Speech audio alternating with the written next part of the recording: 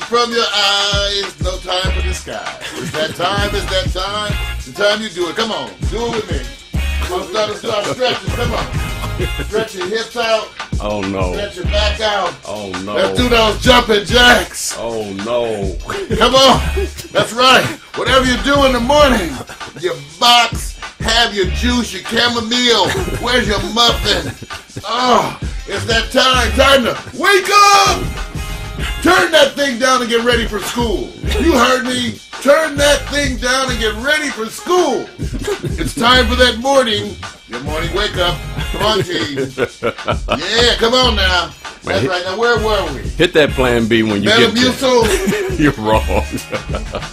Metamucil. Whatever you need, we got it right here. Come on, it's time for morning coffee. Damn, See, I got my juice. I got uh, I got Mac. You know we need chamomile tea, oatmeal. Got to watch that cholesterol. Yeah, remember the days you would start the day? Remember, Vic, we would get one of those pastrami and egg sandwiches Oh man. on the way to work. Hell no, man. That cholesterol up. No, no, mine was hummus, man. It was hummus. Yeah. Come on, everybody. It's time for morning coffee. We were a little late this morning because of Newt Gingrich and the Jackson 5, you know, missed their ride. You know, it's just the way it goes. All right, because it's Tuesday. Tuesday, April 13th. That's right. Time for taxes. Oh. Ah! That's right. Come on, everybody. oh. Yeah. Danny, Danny, dance for him. Yeah. Hey, Daddy, are they stretching out in the chat room? Come on, Norman. Come on, Mac. You know. Oh, come on, Norman. You can take the lead on these. Leslie. Mm. Now we know Leslie not feeling good, so that's why we gotta give her special love. Come on, Leslie. His big kisses to you, Leslie. Mwah. Much love to the Falu. How come Danny ain't dancing? Yeah. You didn't know I could do that. I got a, I got a message from Poolies at the gate. Oh, Pooley's at the gate. Oh, watch this one. Watch in. this one. We just locked. Mm. Next time you let us know when you're on the show. That's the way it goes. Yes, morning coffee. Let me see what I got here, y'all. We got a lot of stuff to talk about. Oh man, we got teen girls carjacking. We got GOP chair Michael Steele apologizing to America. That's right. The new Oprah bio by Kitty Kelley. Oprah said she don't want no part of it. Oh, come on, everybody settle in. That's right. Oh, Obama's working on Supreme Court. Yes, Corinne Bailey Rae's got a new CD. Y'all heard about that? The C. We're gonna see the C. Come on, get yourself. All right, y'all.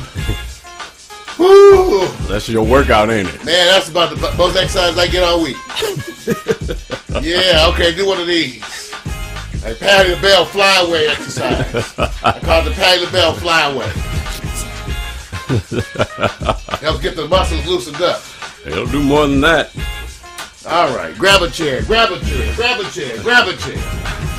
Grab a Oh man, that was uh, that was interesting, man. I don't know. I have to, I have to give you Help the me. props, man. Got Help to me, give help prop- me. You need a lot of help, don't you? Help me.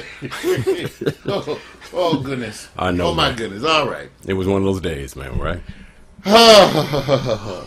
Had to put on my headphones, you know. Yeah. To feel cool. Yeah, I know, man. Good morning, good morning, good morning, good morning, everybody. It's time for morning coffee. That's right. It's been and it's been a wonderful morning. Uh, everything just jumping out at us, as it were. but we do it that way. We do it that way because we like excitement and challenge.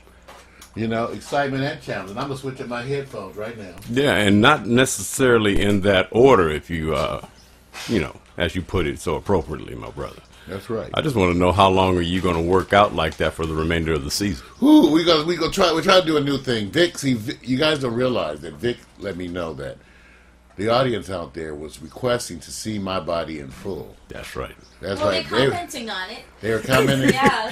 Fifty And they pounds said, lighter. They said that um you're you're slimming down. Yeah, 50, thank you, country. Norman said you look cute. Thank and you, I Norman. Nope. Don't tell him that. Yes, now check it out, you guys, because I'm I am I'm, I was at one point I was almost 260 pounds. I'm now 218 pounds, and I'm hungry. no, no. Tell, tell you the truth, you guys. Check it out, you guys. Check it out. Last night, much to Daddy's chagrin, much to chagrin, last night I actually made some chitlins. Oh. Y'all into chitlins out there? People say, "Oh, Mario." Yes, I did make some chitlins. Listen, coming up, I cooked with my mother. It's one of those wonderful bonding experiences between black men and their mother. And she taught me how to cook chitlins. Now, y'all say, "Was cleaning the chitlins that's so much work?" Well, see, this is where I use today's technology. I buy the clean chitlins Right. at about twice the price. But chitlins didn't cost anything anyway. So those you don't know, chitterlings, pig intestines. That's right. I get mine pre-cleaned, and then I clean them anyway. So yesterday, while waiting for an appointment with an important client, I decided to use that time in between to clean chitlins. So I cleaned chi- 10 pounds of fresh, ah. clean chitlins, and I cooked chitlins. You know, my woman wouldn't even go in the house. Oh, that was My woman wouldn't even go in the house because she didn't want this to, to experience the chitlin smell. And I, you know, wrinkle steak.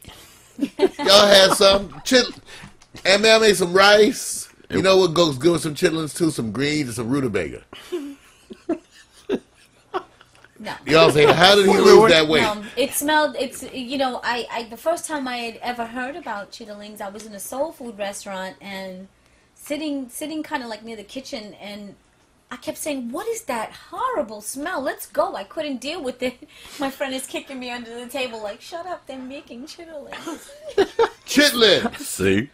That's not the way Chitterlings. it's spelled on the on the is something else. Chitlins we have all the time. Chitlins. Ugh, no. This is the historical slave food. As it were, let me give you a quick history lesson. As it was in the day, the master would take the ham, all the good part, parts of the pig, and then he would give you the leftovers. So he gave the slaves the feet, the head, Yep. the intestines, and those black folks, as creative as they are, managed to make wonderful, wonderful, delicious dishes that we enjoy today that managed to keep our cholesterols sky high. But it's not just slave. It wasn't just slave food. That particular, uh, you're you're just mentioning that you Because know, it's not slave food American, everywhere, right. Exactly, because everybody in every country, nothing goes to waste when it comes to uh, food. No, an nothing animal goes or whatever. waste. Nothing goes to waste. They just in had Italy, choice. in They Greece. just had choice. Yeah. Well, no, I'm just saying they No, had no. they had yeah exactly Italy, Greece, France. They all. I mean, look at the Scottish. The Scottish have uh, have haggis. That's the intestine stuffed with organ meat, I and that's a delicacy for them. We watched the thing about the, the Greeks who were doing a goat. They Yeah. were roasting a goat, and they did the same thing with the organs meat. Organ meats, they put them on a skewer, then they wrapped the organ meats around. They wrapped them around with chitlins. so they have this big old. When they roast the goat, they have this other big log of organ meat that's wrapped with chitlins. And by the time they cooked it, Mm-hmm. are you guys grossing out out there? yeah, they're like. I mean, Emmy is like no in the chat room when you make Come on, chitterlings. country, country don't eat none. Country don't eat. Said nope. I don't fool with no y'all, hog. but y'all, but see y'all, see you know what's so funny? This is all y'all second generation.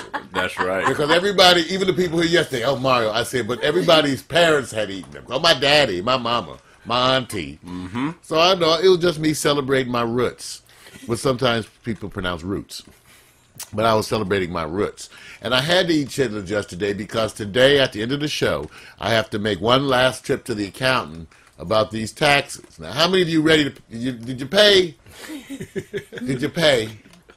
Nope. You owe it to yourself to cheat on your taxes. That's Come right. on. If not, you supporting the war effort. That's right. you support. So you got to cheat.